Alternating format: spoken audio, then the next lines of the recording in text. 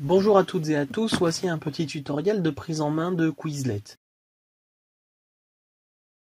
Donc première chose, il va falloir soit s'inscrire, soit se connecter.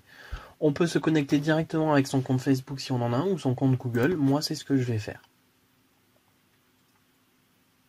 Voilà, une fois que je suis connecté, on trouve un tableau de bord où au centre on a notre activité récente et à gauche on a euh, parcourir les diagrammes, les listes, paramètres, etc. Je ne vais pas vous expliquer ce que sont les diagrammes pour le moment. On va créer notre première liste avec le bouton en haut, créer.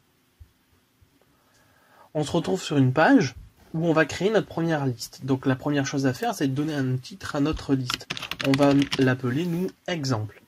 Et ensuite, je ne vais pas m'occuper encore de, diagramme. Euh, la liste, elle est ici. On va mettre un terme et sa définition. Donc soit on le fait à la main l'un après l'autre, ce qui peut être long, soit comme je vous le propose, on va importer à partir d'un fichier euh, Word par exemple les mots et les définitions. Donc ici, j'ai un fichier Word avec euh, des mots et leurs définitions qui sont séparés par une barre d'espace.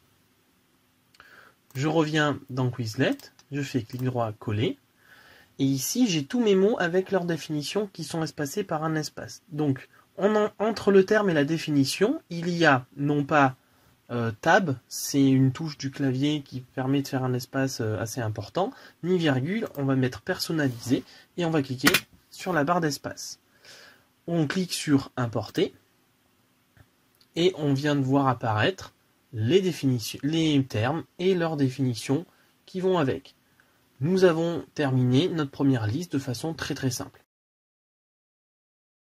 Une fois que j'ai créé ma liste, j'appuie sur créer effectivement, là on va me demander de choisir la langue des termes pour créer une liste. Donc je clique ici sur choisir la langue. La langue est ici, elle est française. Et pour tous les autres termes, la langue utilisée sera du français.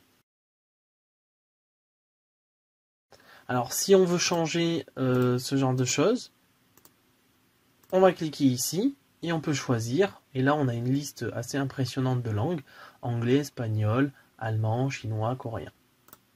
À quoi ça sert ça? Eh bien tout simplement parce que Quizlet va permettre de faire des dictées. Je clique sur créer. Toutes mes listes sont en français. J'ai créé ma liste. Je peux la partager via le lien, ce qu'il faut faire avec les élèves.